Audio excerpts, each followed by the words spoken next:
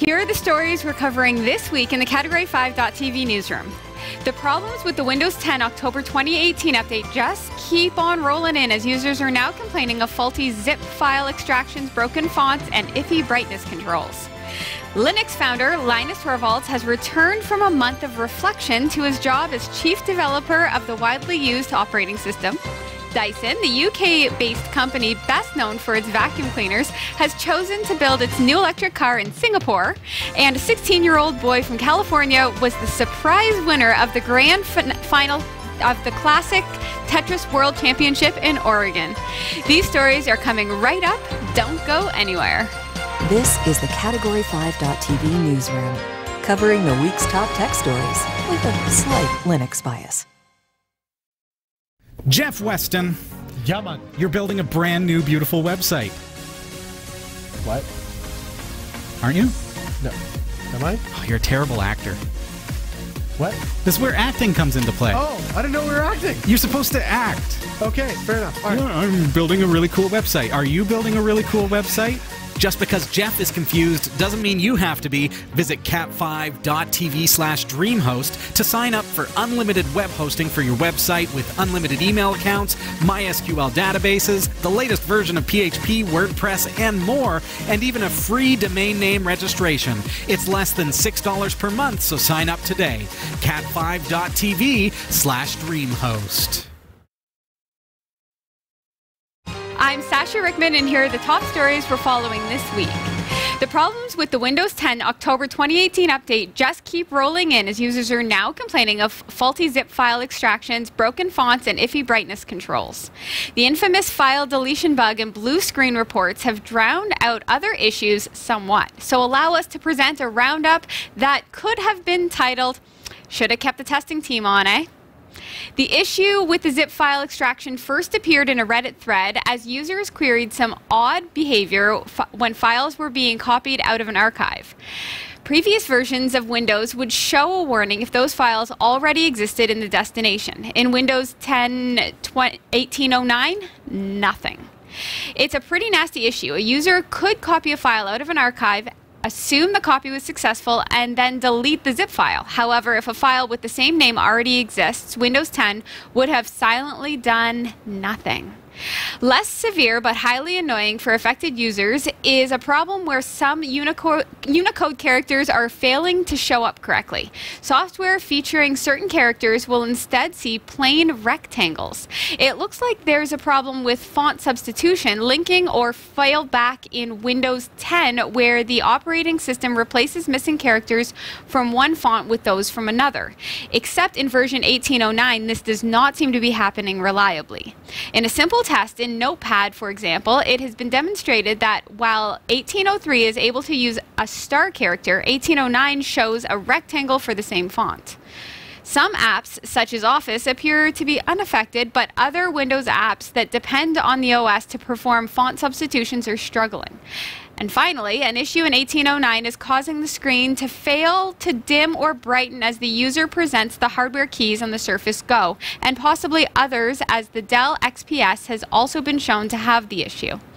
A restart appears to fix the problem briefly, as does disabling and re-enabling the graphics driver. Some users have reported success in manually installing drivers from Intel. Most are suggesting rolling back your OS to 1803, but if you're unable to do that, unfortunately, you'll just have to wait until Microsoft fixes these new issues, and hopefully their fix won't cause your computer to blue screen.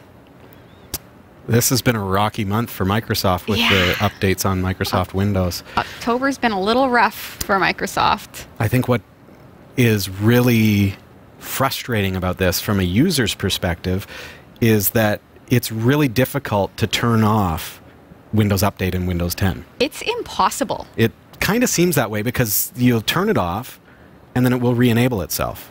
And then mm-hmm. you'll find a new registry key that you can turn off and it will re-enable itself. Wow. That's what we found. It's also hard to trust updates when it's an update that causes the problem, right? Like, so if I have an update that is an issue and then they say, okay, we have a fix for this update, and Yeah. then they do another update and it causes another issue, which is, you know, something that's been happening. so which which issue do you prefer? Yeah. Do you prefer to have your files deleted or Right. And this Blue screen. to be honest, like this whole font substitution thing, that could be a pretty big deal if you're printing documents that have, you know, very particular characters. Yeah, and I use Yeah. Unicode on occasion. I think where it would really be noticeable is if you were using foreign characters. So, you know, we Mm-hmm. think of the example of, you know, little graphic characters like like a webding or something like that, but that's not really a big issue compared to if you're using foreign characters that are a part of a particular font set and the substitution just turns them into squares. I know. We encounter that now with French characters here in Canada. So It's- that can be very, very frustrating. Quebec. You think of Quebec with the accent over the E. Well, that's a Unicode character. right. So I'm gonna put my hot dog hat on right now All right. to ask a simple question. So what's the um, 1809 versus 1803? What's all of that? So 1803 is the update for Windows, Microsoft Windows 10 that came out in April. 18, oh, that's the name of it. it's, it's a, yeah, it represents like a code name. Yeah, yeah, Yeah. exactly. So okay, see. 18.0 or 1809, I say point. Uh, 1809 was released early October. Yeah. When Microsoft released it, it deleted files on people's computers and broke profiles. Oh, okay, So then they I pulled see. it three days Yeah. later. They re-released it and said, "Okay, we fixed that." Yeah. But then it blue screened HP computers, Ah, so they okay, couldn't boot their computer. Yeah. So then they re-released. Yeah. and now we've got all these other yeah, issues. Yeah, yeah, yeah. Right. So okay, now you're losing files when you extract a zip file and, Right. and everything Okay. else, and Unicode and brightness control is not working, and Right. Can you imagine if you aren't Robbie and you haven't backed up your files in a hundred different places, Mm. and then you delete a file thinking that you've extracted it properly, and they've it could just it. be really frustrating. And and the other place that that's annoying is a lot of us these days use um, LTE internet. Right. So we pay for the bandwidth that we're using. So if I download a giant file Mm-hmm. and extract it and expect that it extracted because it looked like it went through, and then I delete the zip file and maybe it was too big for my trash bin, so it just is gone. Yeah. Oh, now I got to download it again, and I have to pay again for that download. Wow. So it's yeah. a whole, you know, the, Microsoft doesn't seem to think about that when they rolled out the Windows 10 update. They didn't care that it cost me $400 to get it through my LTE connection. Right. Exactly. Too bad they don't have a testing team. It probably would be a good idea. I would say. Mm-hmm. Linux founder Linus Torvalds has returned from a month of reflection to his job as chief developer of the widely used operating system. Mr. Stop, stepped back, pardon me, from heading the core development of Linux following accusations of bullying and rudeness. He sought professional help to curb his abrasive side and to develop empathy with the Linux community. His return comes as Linux coders adopt a code of conduct, conduct that seeks to make the community more welcoming. Mr. Torvald, Tolva, I cannot say, Torvalds. cannot say his name today.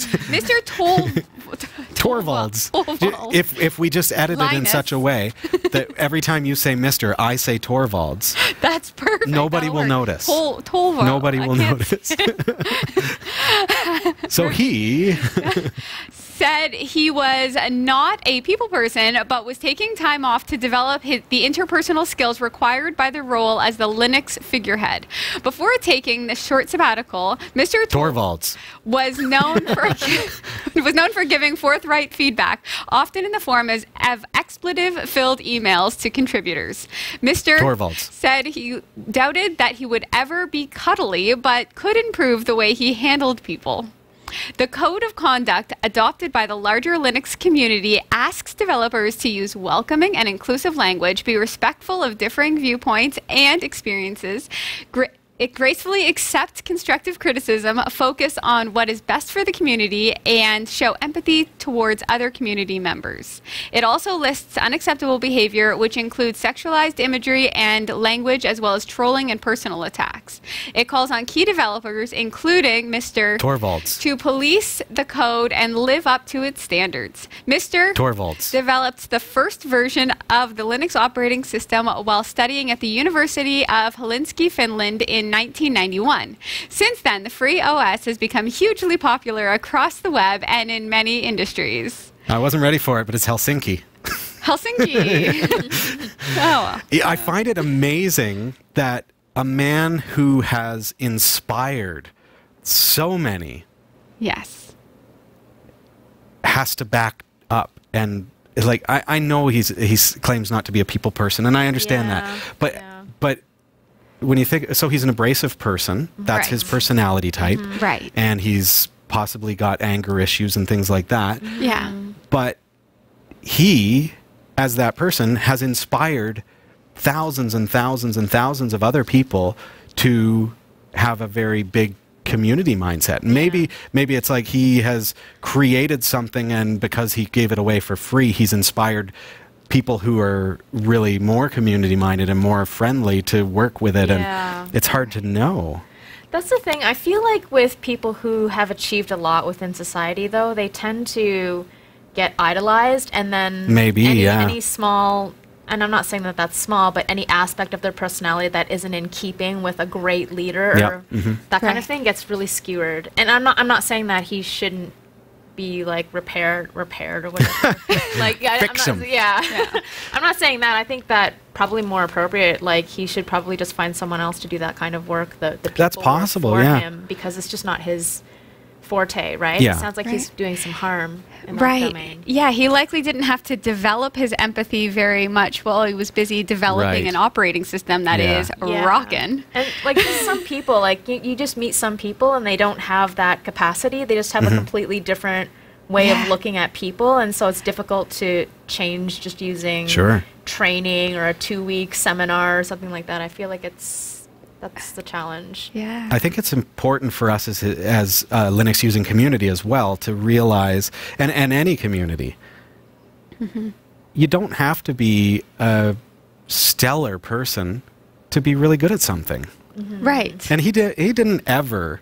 I, I think it, it must be hard on him right now because people are coming down on him because of his personality type. Right. And I may not agree with it, and I may not mirror that type of behavior. Maybe sometimes when the kids are being bad, I, you know, but Well, I I feel like he probably didn't intend harm even in when he was Mm-hmm. sending those emails. Like it wasn't the fact that he it's just meant- aggressive response, like reactionary response. Exactly, but I don't think that his like his actions and his intentions didn't meet up completely in Sure. my in my mind, right? But thinking, so think of that quote. So Sasha just said his actions and his intentions didn't line up. When he created Linux, did he intend for it to become the world's most used operating system and Right. and for him to be the figurehead of this giant community organization? right. I don't think that was his intention. Yeah, yeah. and he's kind of kept out of the spotlight in that, you know, he's he's very much a behind closed mm-hmm. doors kind of guy. yeah. Yeah. But cross him Right. and he'll show his true colors. I would say really lucky for him. Linux users, the community of Linux users, they're they're so warm and so Sure, empathetic and so supportive that the fact that he stepped away for a month and worked on it himself, Mm-hmm. even if he were to show some like future blunders and maybe failings in that regard, he'll be forgiven. You know? Sure, I mean, yeah. as long as he practices some of the tools he's been given. Yeah.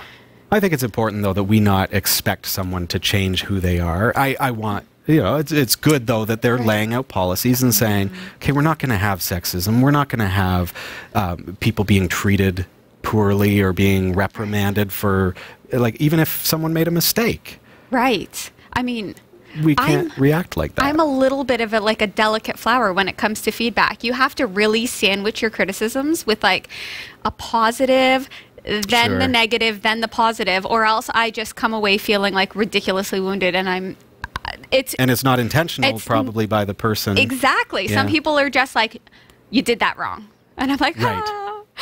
What do you mean? I feel I like mean, I I'm- could, yeah, I'm the not same be, way, yeah. I could not be Mr. Tor- Torvalds. Yeah. Personal assistant. Oh, sure. that yeah. would not be a good job for me. So we'll see how he does in the next little while, but let's not be too hard on the guy. Like Yeah. we're all human and we all have our own way of handling things, and if that's the kind of person he is, unfortunately, we just kind of stay away and let him stay away. yeah. Let him stay away. Let him kind of work behind closed doors because he's good at what he does. Mm-hmm. He's really good at what he does.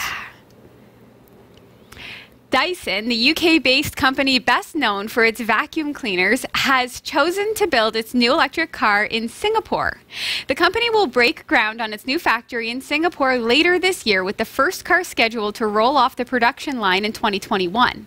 Dyson said the decision was based on the availability of engineering talent, regional supply chains, and proximity to some key target markets. Cost was not a consideration. Singapore is one of the most expensive territories in the world to do business, and space for manufacturing is at a premium in the city state. Dyson has not yet revealed what kind of batteries its new car will use or whether or where they'll be made. Dyson continues to develop both solid state and traditional lithium ion batteries in parallel. The company currently has 1,100 employees in Singapore, 1,300 in Malaysia, 1,000 in China, and 800 in the Philippines. Yet another manufacturer bringing out electronic cars. Yes. And I am I have said it before and I'll say it again. I'm so excited to see what the Dyson car will look like cuz Dyson vacuums are amazing. Hold on tight, folks. It's gonna It's be gonna- one giant vacuum cleaner on it's a wheels. whirlwind. Yeah, whirlwind. And it's it's actually kind of fun and tongue in cheek that it's an electric car which is very clean and Dyson is a cleaning Yeah. known for its cleaning.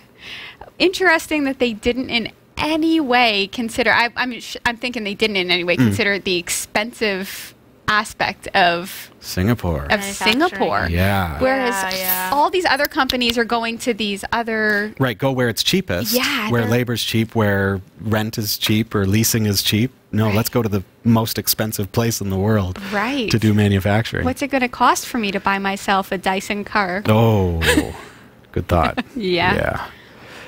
Yeah. They're expensive vacuums, They're expensive. Yeah, that's true. but they're good vacuums. I wonder with the purchase of a car if you get a Dyson vacuum. That would be cool. Maybe you could hook it up to the exhaust pipe. Maybe. There is no exhaust pipe, so they've utilized that as a That's central right. vac jack. That's right. It'd be perfect. A 16 year old boy from California was the surprise winner of the grand final of the Classic Tetris World Championship in Oregon. The iconic block stacking computer game is 13 years older than him. Joseph Sa- Saelee dethroned seven time tournament winner Jonas Neubauer. The young man had only started playing as a hobby after watching the championship in 2016. Wow. He plays for a couple of hours each day on an original 1985 Nintendo Entertainment System console hooked up to an old CRT TV rather than a modern flat screen. He said that he prefers using the old fashioned monitor because there's less latency, which is a tiny time difference between the controller and the visual. He said, My friends are like, What is this guy playing? And, like a retro gaming evangelist, explains to them that Tetris is easy to learn but can take years to master. Mr. Saelee intends to take part in the competition again next year. 16 years old. Um, yeah. I love it. Retro is making a comeback. I am so bad at Tetris. I want to be good at it. I love it so much. I am just like I'm a panicky button masher. Oh, yeah? So I will never be part On Category championship. 5 Technology TV last week, we we created our own Tetris machine. That's right. An Odroid Go. It's like a it looks like a smaller version of a Game Boy, Mm-hmm. but you can put Game Boy games on it, Nintendo Oh, Entertainment System games. So I actually have the original Tetris in NES on that. Right. And I've been playing it along with Dr. Mario Oh, wow. because both of those are fantastic. So you games. could be the next champion. I'll work on that. I don't know, Sasha. It's an easy game to learn, but it takes years to master. I wonder if he plays with the music on. Definitely. Yeah. You have to. You have to. I think guess. so. Yeah. I wonder The- if that's part of the competition, like if they have that, like the music on at the same time. That'd be amazing. I got to watch that. Yeah. I'm sure it's online. What was that? There was just that movie, and I love it so much. And it was re- virtual reality. Oh, Ready Player One. Yes, right. Right? So I feel like this is, he's that guy, right? That is just the master of retro games at Mm. an incredibly young age when the game itself is, you know, like 13 years older than him. And how old is he? He's 14? Is that 16? He's 16.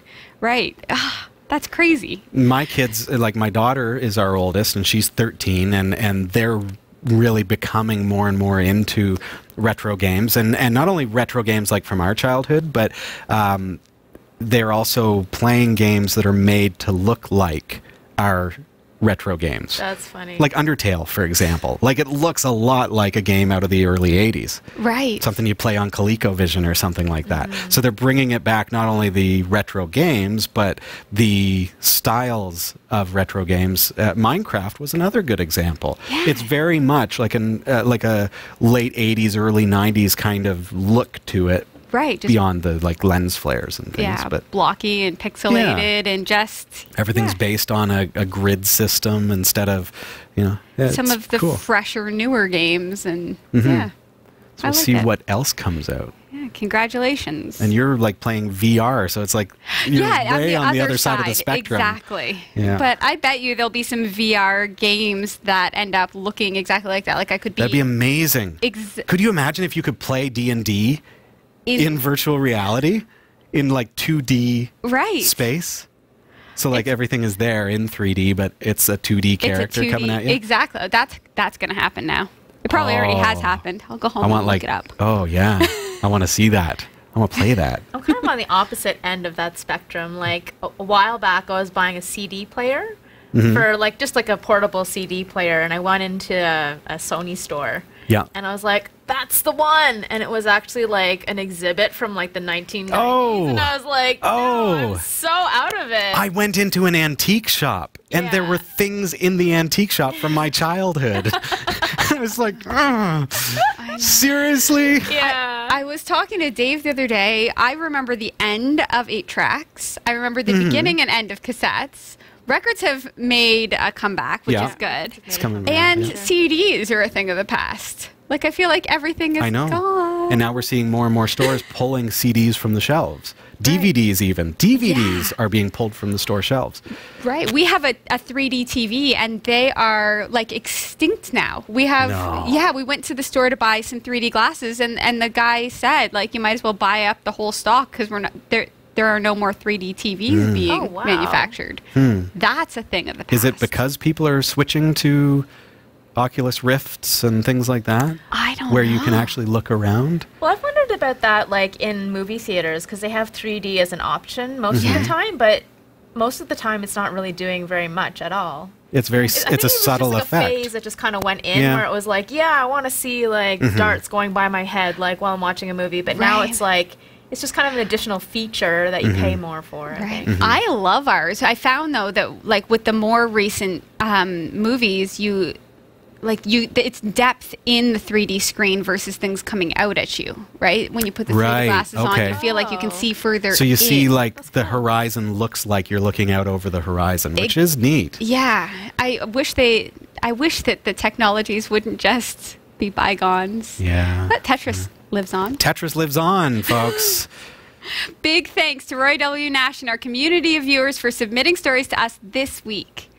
Thanks for watching the Category 5.tv newsroom. Don't forget to like and subscribe for all your tech news with a slight Linux bias. And for more free content, be sure to check out our website. From the Category 5.tv newsroom, I'm Sasha Rickman. and I'm Robbie Ferguson. And I'm Shizu. Thanks, everybody, for being here with us this week. That's all the time that we have.